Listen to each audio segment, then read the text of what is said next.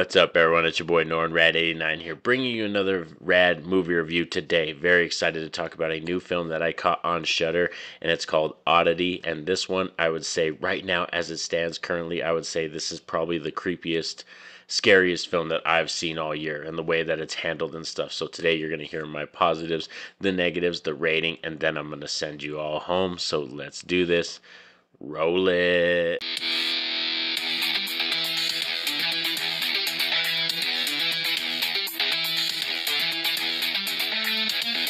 So, Oddity is a 2024 horror thriller. This is directed by Damian McCarthy, and this one stars Carolyn Bracken. And for me, that is like one standout right there is our lead actress, who, like, for real, this year, 2024, has been a standout year for female performances in horror, and Carolyn Bracken is one of those people I would put up there. She plays two characters in this film. She plays two twin sisters. So there's one sister who actually gets brutally murdered in this film, and then Darcy, who her other sister, the twin sister, kind of goes on a revenge, you know, trying to find out who is responsible for her sister's death. And this film, for me, like said, as it stands, I said in my intro, in terms of creepiness and scares, this one I think tops the charts out of all the films that we've seen this year. This is pretty good, and I want to say right off the bat, another huge, huge positive besides our lead actress is the shots, the cinematography, everything in this film is very deliberate in terms of the pacing, in terms of the cinematography, the acting, everything. So you can tell that there is such attention paid to detail.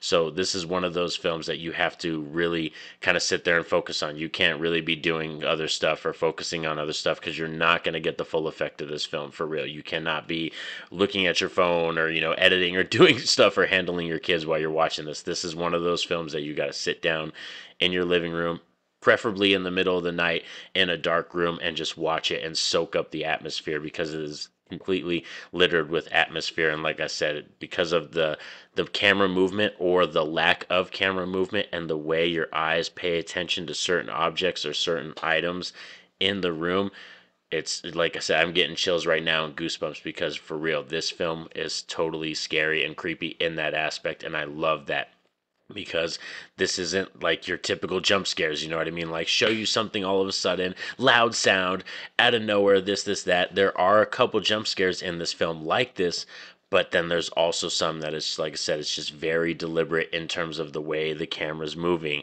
where we pan, or like I said, the lack of movement, and then the use of lighting. So, yes, very expertly handled in terms of all the attention to detail with this film. I also really love the use of items in this film, and that you'll learn more as you watch the film because I don't want to spoil it. Again, if I say too much, I'm going to spoil this movie. But the use of items, and specifically in this film, is like another thing that I really love. I'm just talking about items in general around the, the your house, you know, a trunk, uh, a bell, anything like that. Just the way that they use a lantern. There are certain ways that they use stuff in this movie, and I think it's very much reminiscent of some creepy, scary stuff. And like I said, this is going to be one of those long lasting films that I'm going to be very excited to revisit every spooky season. Also, like the sound effects and sound design. This is one of those movies, too, that like it really hones in on being alone being in a home or being secluded in an area far away from people because it kind of has that, you know, isolation atmosphere, you know, only having one or two people in a location and you're far away from everybody else. And the use of sound is so good too. So, yeah, this film. I can't praise this film enough. This is one of those films that right now, as it stands, is easily in my top 10 horror of the year. It's easily right now in the top 10. I got to watch some other films and then kind of rank all of them and stuff. And there's some more coming out this year, but this is one that, like I said, I'm praising so much because I want people to go out and watch this. Like I said, you could currently stream this on Shudder, and I definitely recommend it because, in terms of the atmosphere, the storytelling, it's gripping too because it's one of those films that gives you certain story elements in the beginning and then I think the pacing's great because by the time you get to the 30, 40 minute mark, you're learning new things, you're unwrapping new things about the story. And it's not necessarily twists, it's just kind of like those aha, like revelation moments, you know what I mean? And you're right ahead of them. So that's what I think is best. When a movie is able to do that thing where you kind of figure things out and then they tell you right after, I feel like that's a great pacing. You know, you're on par with the film. You're you're right in there with the characters, and I love that about this movie.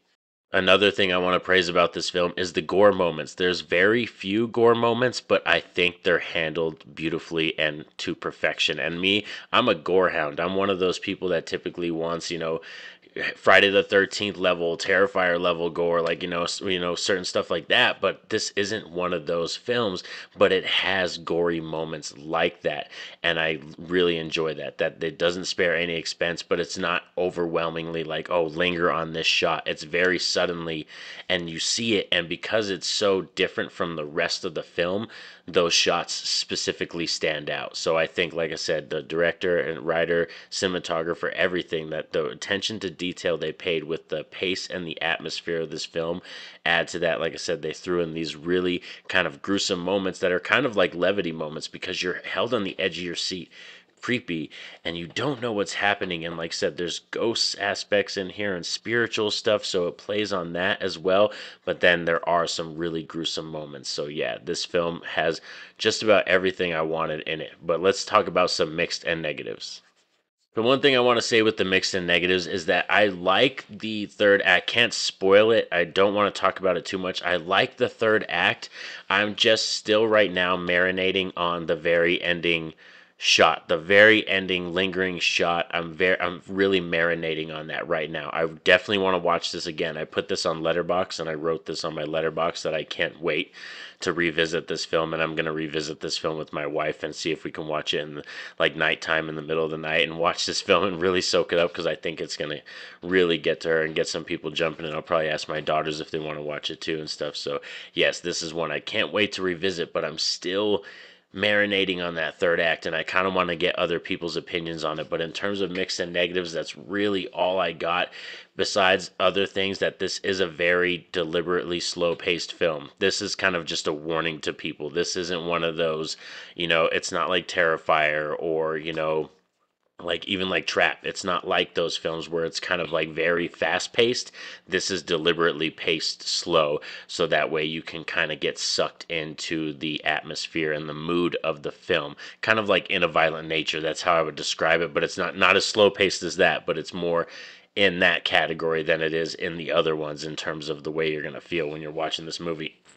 So that's just kind of a warning to you but I absolutely love this film, and I can't, like I said, can't wait to revisit this film, the film and Oddity in my book. Before I start tripping over my words anymore, Oddity in my book for a rad rating is going to get a 9 out of 10 in my book. That's a very strong rating, and I think this is easily one of the best horror films that have come out this year. And I like as it stands right now, it's in my top 10, but we still got some other stuff coming out. I still have to see Smile 2.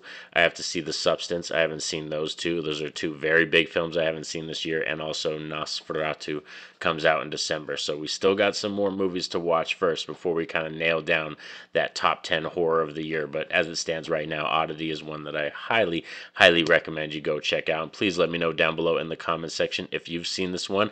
What are your thoughts on this movie? Because I would love to discuss with you down below. Please like the video. That definitely helps out the channel. Subscribe if you're new to the channel and have that notification bell poked so you're notified anytime I drop a video. But most importantly, I want y'all to have a safe and happy day. Peace out.